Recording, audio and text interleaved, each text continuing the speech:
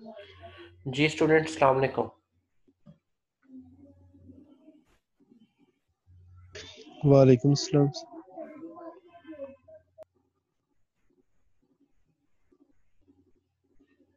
Last lecture से relevant किसी का कोई क्वेश्चन है तो पूछ सकते हैं। बाकी स्टूडेंट अभी ज्वाइन कर रहे हैं तो।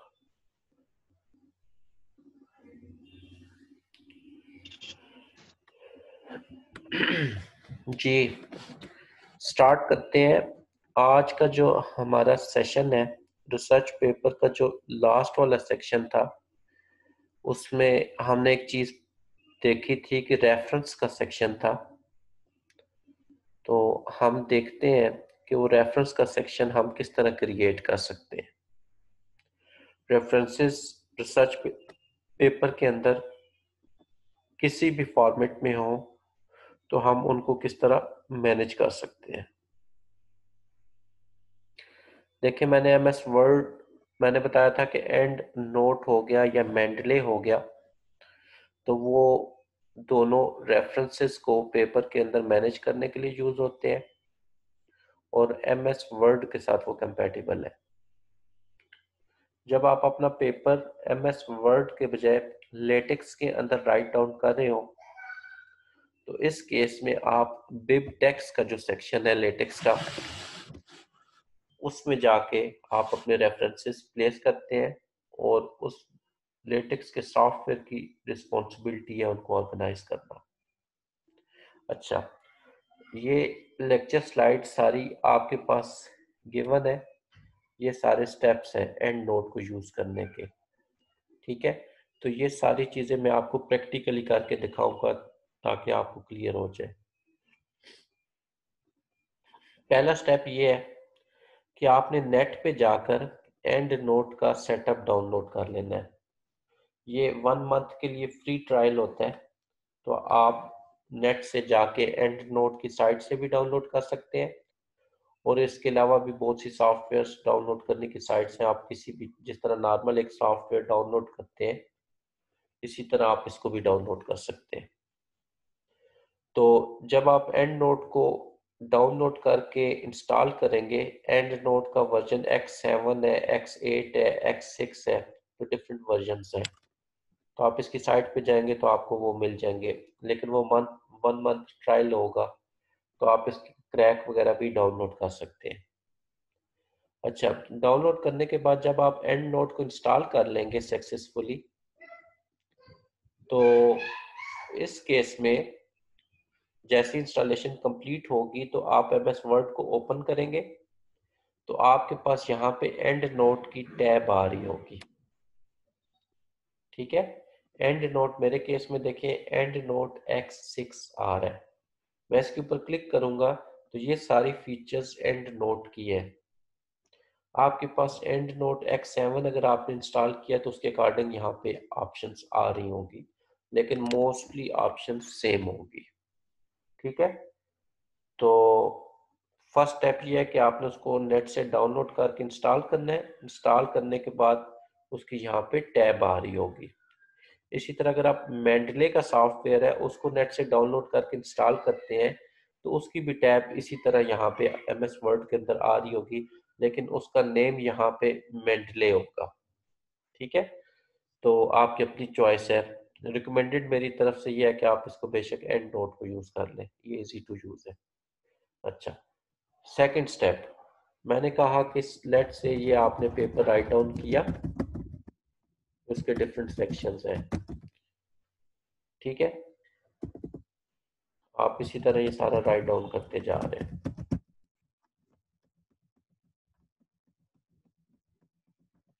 ये पेपर राइट डाउन किया। लेट से बल्कि मैं एक मिनट।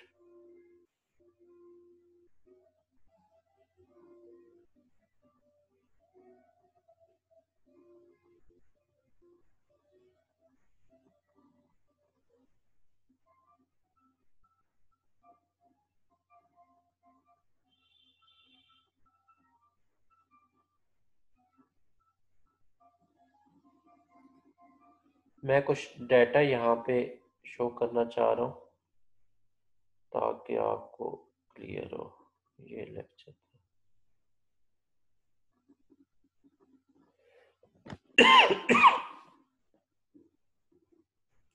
अच्छा ये रिसर्च पेपर है, मैंने इसके अकॉर्डिंग इसे डाटा कॉपी पेस्ट कर लेता हूँ।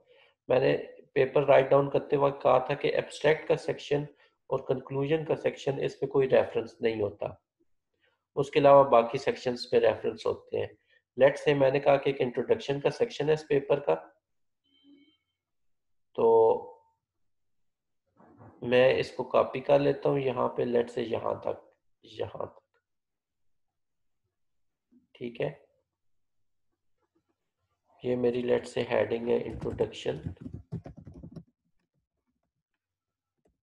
उसका डाटा जो है वो मैंने यहाँ पे पेस्ट कर दिया। ठीक है? फॉर्मेटिंग वगैरह हो जाएगी, ये कोई ऐसा मसला नहीं है। अब मेरा क्वेश्चन यहाँ पे ये है कि ये एक रेफरेंस है। यहाँ पे one dash five one dash three like insert हुए हुए। तो ये किस तरह होंगे? ठीक है? मैंने कहा कि चले इधर तक की डाटा था, मैं यहाँ पे इसको ख़त्म कर देता हूँ। ठीक है, जिस तरह वन डैश थ्री आपके पास आ रहा है। तो पहला स्टेप आपका यहाँ पे ये होगा कि अब मैं इसके यही वाला reference number let's say four है। मैं इसको यहाँ पे साइट हुआ हुआ है। ठीक है? तो इसको मैं अपने एम एस वर्ड की, अपनी वर्डिंग में जो यहाँ पे डाटा लिखा है लेट से यहाँ पे रेफरेंस फोर को मैं प्लेस करना चाह रहा हूँ। ठीक है? जहाँ पे भी आप प्लेस करना चाहें। तो फ़र्स्ट स्टेप आपने करना है कि ये चेक करना है पेपर के अंदर कि रेफरेंस फोर है कौन सा? इस पे अगर मैं क्लिक करूँ तो देखें मैं एंड सेक्शन पे रेफरेंस के सेक्शन पे आ जाता हूँ। मैंने अब ये रेफरेंस फोर है। इसको यहाँ से कॉपी किया। ठीक है, इसको मैं अपने पेपर में जो राइट डाउन कर रहा हूँ, उसमें इंसर्ट करना चाह रहा हूँ। ठीक है तो रेफरेंस फोर को यहाँ से कॉपी किया। Scholar dot Google dot com पे चला गया। ये याद रखिएगा कि ये रिसर्च की डेटाबेस है। ऑल ओवर द वर्ल्ड जितने भी जर्नल्स के पेपर पब्लिश होते हैं या कॉन्फ्रेंस के, हर जर्नल अपनी साइट पे पब्लिश करता है तो गूगल स्कॉलर उनको ऑटोमेटिकली वहाँ से फेच करके अपनी डेटाबेस में ले आता है। ठीक है? तो अब यहाँ पे मैंने वही पेपर कॉपी पेस्ट कर दिया यूआरएल मैंने कहा, मुझे वो पेपर चाहिए। तो ये आपके सामने वो पेपर आ गया। अब देखें, यहाँ पे एक प्रॉब्लम है कि मैंने वो रेफरेंस किया तो मैंने कहा, ये आथर्स के नेम थे। ठीक है? पहला क्वेश्चन ये है कि इस पेपर का टाइटल क्या है? I triple E conference on computer vision and pattern recognition में ये पेपर पब्लिश हुआ है। ये इस पेपर का टाइटल है। ये पेपर के आथर्स के नेम है। ये इस पेपर का टाइटल है यहाँ पे। ठीक है? तो अब मैंने चेक करना है कि जो रेफरेंस मैंने वहाँ पे दिया था, वाकई ये रेफरेंस वो है?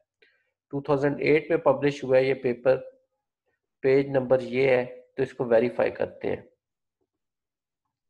अब 2008 में पब्लिश हुआ है वो तो यहाँ पे ये पेपर 2017 का है 19 का है 20 का है, इसका टाइटल भी वो नहीं है, ठीक है? इट्स मीन आपने इसका टाइटल यहाँ पे पेस्ट कर देना है, ठीक है?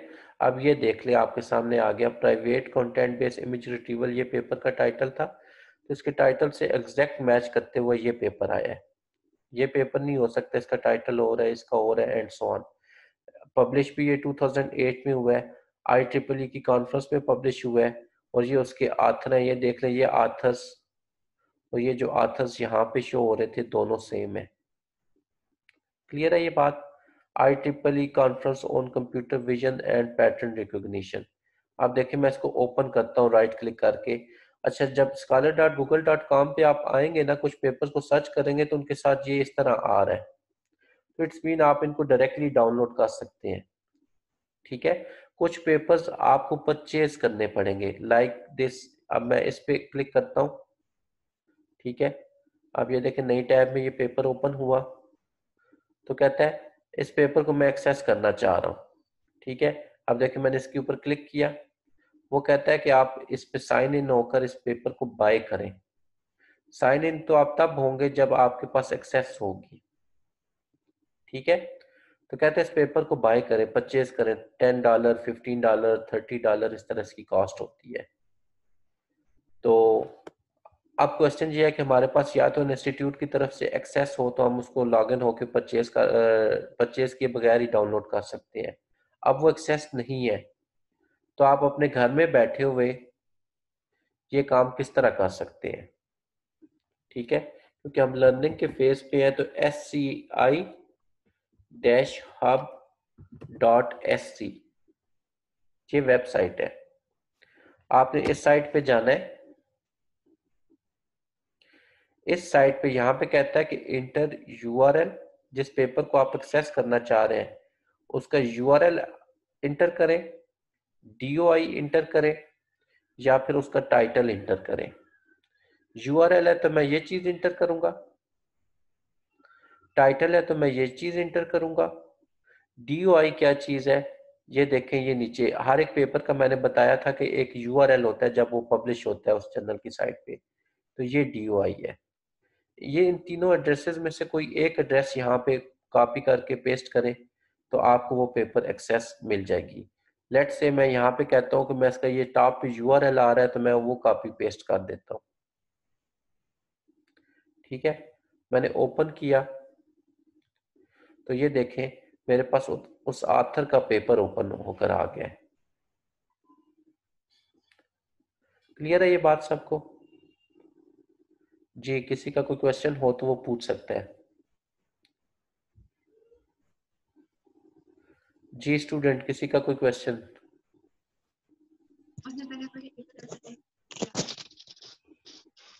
जी माइक अनम्यूट करके क्वेश्चन करें। माइक बाय डिफ़ॉल्ट म्यूट है सबके। तो किसी का कोई क्वेश्चन है तो वो पूछ सकते हैं। क्लियर है यहाँ तक सारे स्टेप्स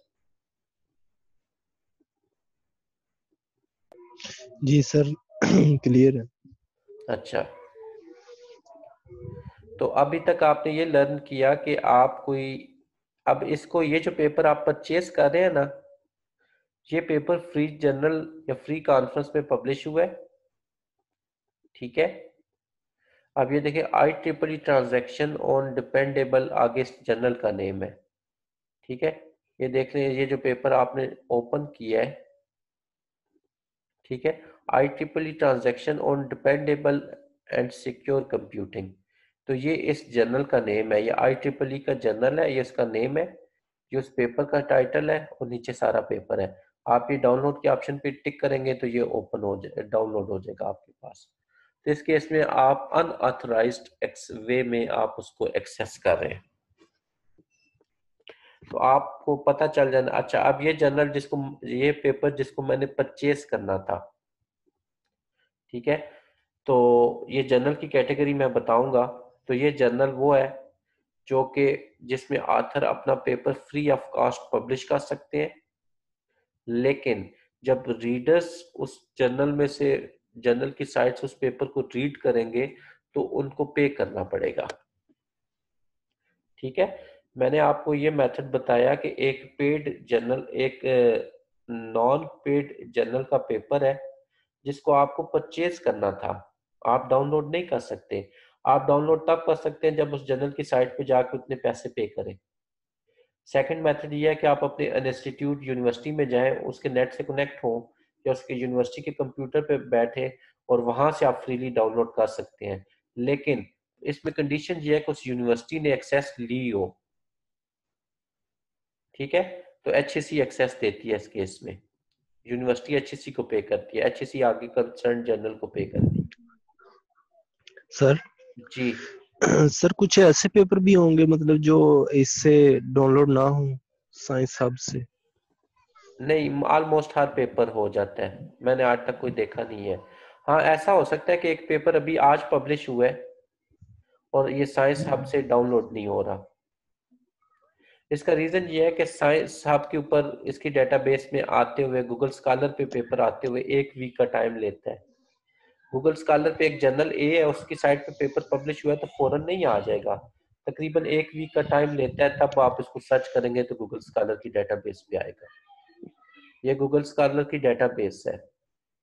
और इसी तरह जब पेपर पब्लिश होकर गूगल स्कॉलर की डेटाबेस पे आता है तो फिर साइंस हब की डेटाबेस पे भी आ जाता है।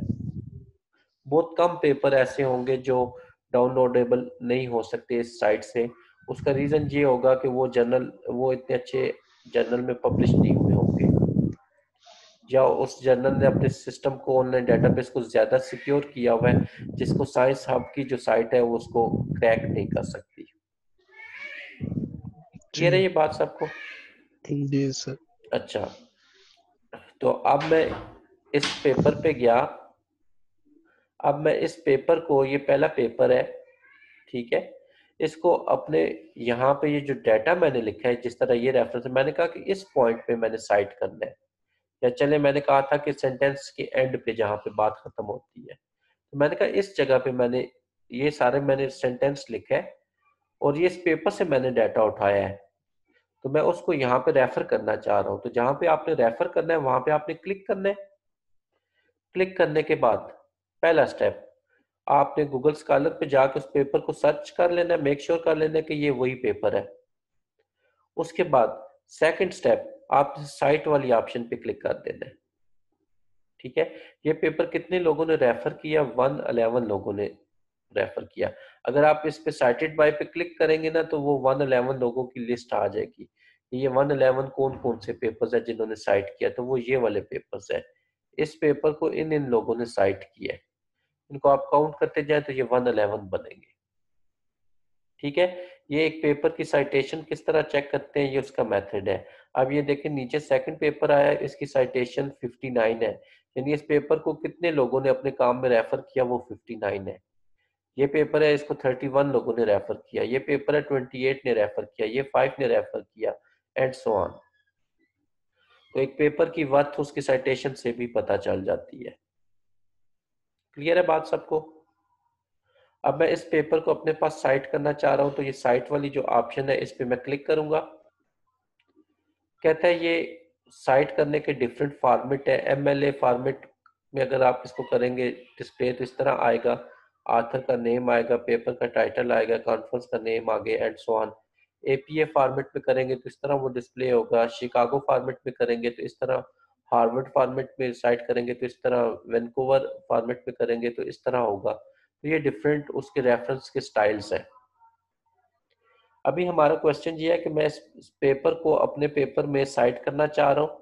कहते हैं चार मेथड हो सकते हैं। फ़र्स्ट मेथड है बिबटेक्स, सेकंड मेथड है एंड नोट थर्ड मेथड है reference man reference man reference man stand for reference manager और फोर्थ मेथड है रेफरेंस वर्क्स ये सॉफ्टवेयर के नेम है reference manager reference works EndNote BibTeX तो आपको इसमें जो सा सॉफ्टवेयर आपके पास है, उस फॉर्मेट में आप इसको डाउनलोड करेंगे।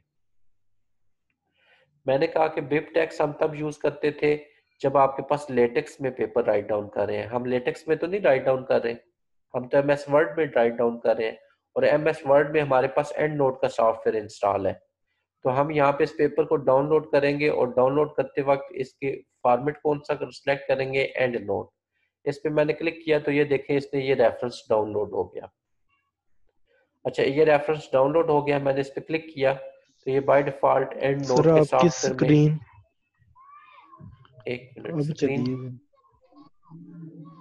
स्क्रीन शेयर हुई हुई है मेरी। आपके पास नेट का कनेक्शन होगा। जी स्क्रीन विजिबल है ना सबको?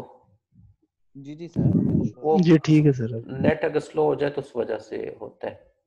अच्छा अब मैंने क्या किया कि इस पेपर को एंड नोट के फॉर्मेट में डाउनलोड किया।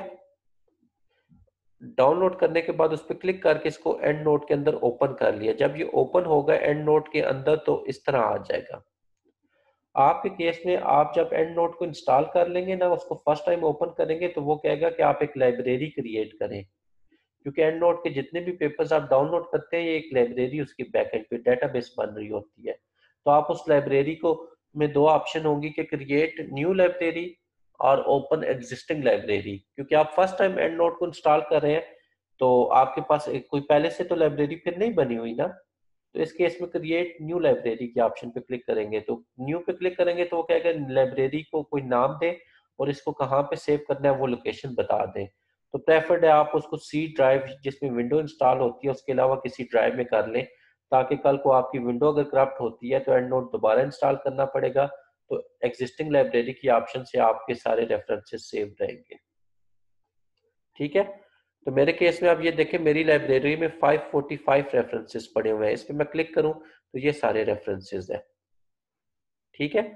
तो यहाँ पे अब आपके केस में आपकी फ़र्स्ट रेफरेंस अगर आप डाउनलोड कर रहे हैं तो ये फ़र्स्ट रेफरेंस आपका यहाँ पे आ रहा होगा। तो ये स्टेप करने के बाद अब आप इसको वहाँ पे इंसर्ट करना चाह रहे हैं एमएस वर्ड के अंदर। तो आप इस रेफरेंस को सिलेक्ट करेंगे। यहाँ पे देखें, बार बार बारी बारी माउस का पॉइंटर लेके जाना है तो इसकी सारी ऑप्शंस आपको पता चल जाएँगी एंड नोट की। ठीक है? ये इसका ड्रॉप डाउन मेन्यू है। ठीक है? अच्छा अब यहाँ पे इस रेफरेंस पे क्लिक किया, ये देखें इंसर्ट साइटेशन आ रहा है। ये जो सिलेक्टेड रेफरेंस है, इसको आप इंसर्ट करना चाह रहे हैं तो इस बटन पे क्लिक करेंगे। लेकिन, इस बटन पे क्लिक करने से पहले मेक श्योर sure कर लें कि आपने जिस प्लेस पे, जिस सेंटेंस पे, जिस जगह पे आपने रेफरेंस इंसर्ट करना है, वहाँ पे आपका कर्सर ब्लिंक कर रहा हो। क्लियर है बात सबको? अब देखें, यहाँ पे मैं, ये डाटा ऐसी गार्बेज है, इसको मैं डिलीट कर देता हूँ।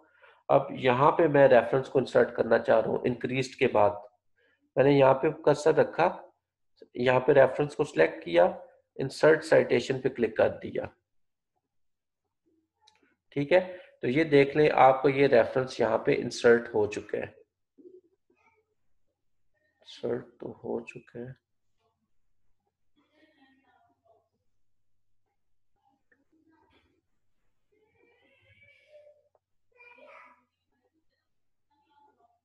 एक मिनट लगता है, मेरा एंड नोट करप्ट है। मैं एक नई लाइब्रेरी क्रिएट कर लेता हूँ। देखिए फ़ाइल में गए न्यू पे क्लिक किया। ये लाइब्रेरी का नेम है। मैंने कहा कि लेट से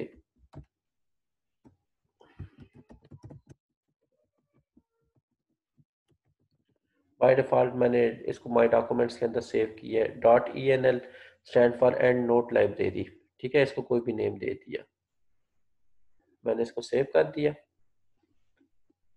अब देखें मेरी ये ऊपर लाइब्रेरी का नेम था, मेरी लाइब्रेरी का नेम स्टूडेंट टेस्ट लाइब्रेरी हो गया। ठीक है, इसमें कोई रेफरेंस नहीं है अभी। तो मैं इधर दोबारा जाके इसको एंड नोट कर ओपन करता हूँ।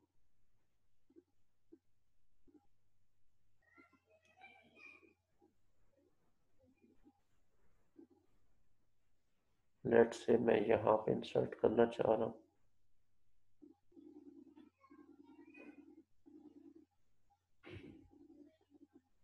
Cannot edit range. एक मिनट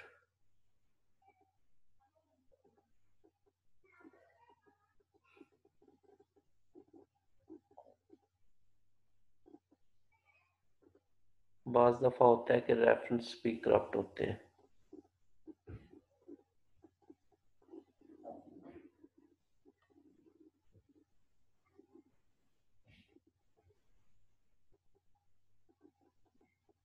ये आ गया। वो रेफरेंस क्रप था, ठीक है? अब ये देखें, ये मैंने पेपर का था रेफरेंस इसको ऐड किया। इसको मैं सिंपली डिलीट कर देता तो ये रेफरेंस मैंने ऐड किया। नीचे देखें, वो ऑटोमेटिकली उस फॉर्मेट में आ गया। एंड पे मैंने बताया था ना पेपर का एक, इसको हेडिंग आप दे दे रेफरेंसेस ठीक है? तो ये आपके पास आ गया। आप देखें। सेकंड रेफरेंस मैं यहाँ पे ऐड करता हूँ। लेट से मैं इसके साथ ही सेकंड रेफरेंस ऐड करने जा रहा हूँ। तो यहाँ पे जो आथर का नेम है ना, इस पर राइट क्लिक करके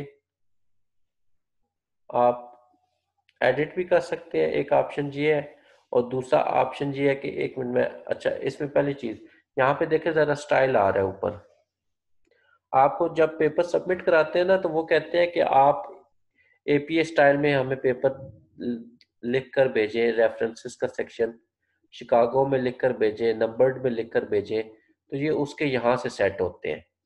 अगर आपको यहाँ पे वो सेट उसका स्टाइल का फॉर्मेट नहीं मिल रहा तो सिलेक्ट एन अदर स्टाइल इस पर क्लिक करेंगे तो इस पे एंड नोट के अंदर जितने भी स्टाइल है केमिस्ट्री की फ़ील्ड के जर्नल्स हो गए बायो की फ़ील्ड की हो गए कंप्यूटर की हो गए ये सारे स्टाइल यहाँ पे लिस्ट हो रहे होते हैं।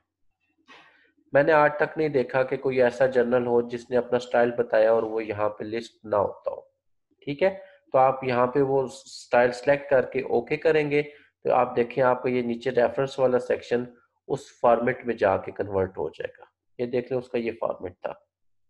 ठीक है? मैं कहता हूँ कि नहीं, मुझे ये नहीं चाहिए। मोस्ट कॉमनली आपको ये नंबर्ड वाला फॉर्मेट यूज़ होता है। ये वाला। ठीक है, ये देख लें ऊपर नंबर्ड फॉर्मेट था। क्लियर है ये बात सबको? अब मैं कहता हूँ कि यहाँ पे ये तो पहले इंसर्टेड था। कोई रेफरेंस रिमूव करना तो सिंपली आप डिलीट भी कर सकते हैं और इसका दूसरा मेथड भी मैं बताता हूँ। अच्छा मैंने कहा कि अब यहाँ पे मैंने एक और रेफरेंस ऐड करना है लेट से इस जगह पे।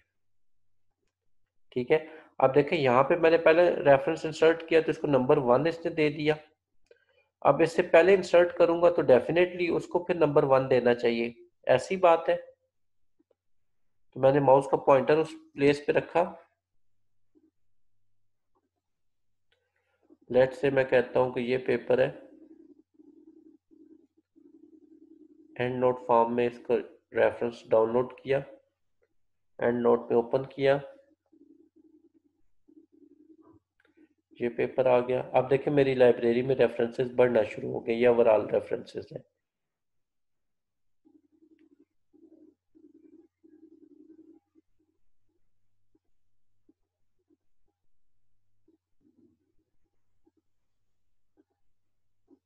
ये भी करप्ट है। एक्चुअली मेरा एंड नोट में थोड़ा इशू है, उस वजह से। लेट से मैं इसको साइड करने के लिए।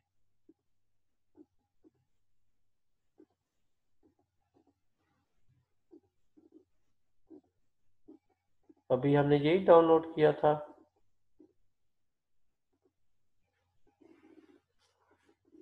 जी, यही किया हुआ था। ये तो क्रॉप था। लेट से ये कर देते हैं।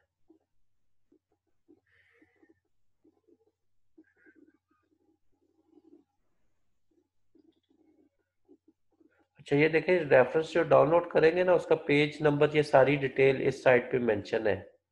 वॉल्यूम नंबर पेज नंबर जो भी उसकी डिटेल है। अगर कोई डिटेल मिसिंग हो और आपको पता हो तो आप इधर आके खुद से मैनुअली चेंज करके कंट्रोल एस करके सेव कर सकते हैं। तो वो डिटेल उधर ऐड हो जाएगी। ये आपके पास आ गई। अब देख लें, इसकी ये फीचर है एंड नोट की कि अगर उस पॉइंट से पहले आपने रेफरेंस को साइट किया तो ये ऑटोमेटिकली री नंबर्ड कर लेते हैं। और नीचे वो देख लें वन आ गया टू आ गया। अब वन वाला रेफरेंस के ऊपर माउस का पॉइंटर लेकर जाए तो ये आपके पास न, ए, जिया ये एक नेम यहाँ पे शो कर रहा है। ये देख लें ये उसका नेम था। अब टू वाले रेफरेंस के पास लेकर जाए तो जू यहाँ पे नेम है वो उसको शो कर रहा है। यानी ये टू पे क्लिक करेंगे तो उस रेफरेंस पे डायरेक्ट ले जाएगा कंट्रोल के साथ। तो ये इस तरह मैनेज होते हैं। पहली चीज़ हमने लर्न की कि हम रेफरेंस किस तरह एंड नोट में इंसर्ट करेंगे इंडिविजुअल अब सेकंड चीज़ है कि एक से ज़्यादा रेफरेंस हमने ऐड करने लेट से यहाँ पे टू है तो यहाँ पे को रेफरेंस मैंने ऐड करना था। जिस तरह वन डैश थ्री है। तो आपने जहाँ पे रेफरेंस ऐड हुआ हुआ है, उसके साथ आपने एंड पे सेमी कॉलन डाल देना है। ठीक है? अब चले सेमी कॉलन मैंने डाला, उसने उसको चेंज नहीं किया। उसने रिमूव कर दिया, ठीक है?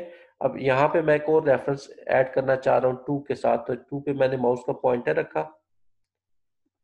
जो सा रेफरेंस मैं इंसर्ट करना चाह रहा हूँ, उसको नेट पे सर्च करके मैंने उसको डाउनलोड किया।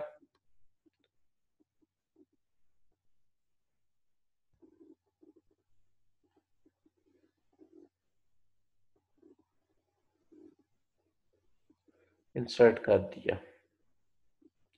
तो ये देख लें टू कोमा थ्री थ्री वाला रेफरेंस उस जगह पे ऑटोमेटिकली आ गया। क्लियर है ये बात सबको? किसी का कोई क्वेश्चन हो तो वो पूछ सकते हैं। हमने पहले लर्न किया कि रेफरेंस किस तरह इंसर्ट करते हैं, जिस जगह पे भी। दूसरा, हमने लर्न किया कि एक से ज़्यादा रेफरेंस एक जगह पे ऐड करनी हो तो किस तरह करेंगे। थर्ड इसमें पॉइंट ये है कि ये जो रेफरेंस का स्टाइल है ये अगर हमने चेंज करना है तो कैसे करेंगे? ये अभी मैं बताता हूँ। यहाँ तक किसी का कोई क्वेश्चन है तो वो पूछ सकता है। सर जी ये वन टू थ्री नीचे लिखा आ रहा है ना। यहाँ आपने टू कॉमा थ्री है और ये वन टू थ्री इनमें क्या डिफरेंस होगा? ये नीचे यहाँ पे तो आपने ये किया है ना। ये तो समझ आ ये गया ये नीचे। टू का मीनिंग है कि ये रेफरेंस टू की बात है तो ये सारी उसकी डिटेल है। जी जी और जी सर ये सेकंड लास्ट लाइन पे जो वन टू थ्री ये कैसे आएगा फिर अगर ये वाला वन ये वाला? टू थ्री नहीं नहीं नहीं ये जी ये मैंने उस पे उस पेपर से मैंने कॉपी किया था उस वजह से ये यहाँ पे आ रहा है। नहीं सर जी अगर ये वन टू थ्री लिखना हो तो ये टू कामा थ्री ये है कि दो रेफरेंस हैं दो अलग अलग से जो दो रिसर्च पेपर हैं। ये एंड तो नोट खुद कर लेते हैं। ये एंड नोट खुद कर लेते है। जब एक से ज़्यादा रेफरेंस यहाँ पे इंसर्ट करते जाए ना तो वो खुद ब खुद उनको अरेंज कर लेता है कि वहाँ पे कोमा आना चाहिए या डैश आना चाहिए। और सर ये एंड नोट का वर्जन कौन सा सुटेबल है? ये अगर ट्वेंटी जो अभी लेटेस्ट है ना वो तो रन ही नहीं होता वो तो प्रोडक्ट की माँगता है। ऐसे ही है एंड नोट एक्स सिक्स मैं यूज़ कर रहा हूँ आपको बताने के लिए। आपको प्रोडक्ट की तो हाँ ये सारे मांगेंगे। प्रोडक्ट की ये सारे मांगेंगे आप इंस्टॉल कर लें one month free trial process है। तो आप इसका साइट पे नेट पे जाके ना आप इसका वो सेटअप डाउनलोड कर सकते हैं। मैं इसका वैसे ड्राइव पे रख दूँगा स्लेट के ऊपर सेटअप तो अब सेकंड क्वेश्चन ये है कि ये रेफरेंस का स्टाइल हमने चेंज करना है। ये जो रेफरेंस का स्टाइल है ना इसको नंबर्ड कहा जाता है।